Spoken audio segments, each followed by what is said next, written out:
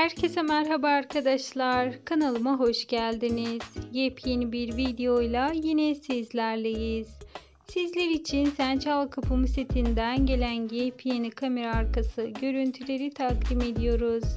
İşte arkadaşlar Hande Erçel ve Kerem Bursin Antalya çekimlerinden olan görüntüler fanlar tarafından gizlice kaydedildi ve bugün sosyal medya hesaplarında paylaşıldı.